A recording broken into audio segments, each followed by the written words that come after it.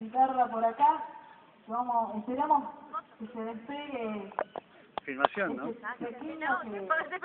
Ah, bien.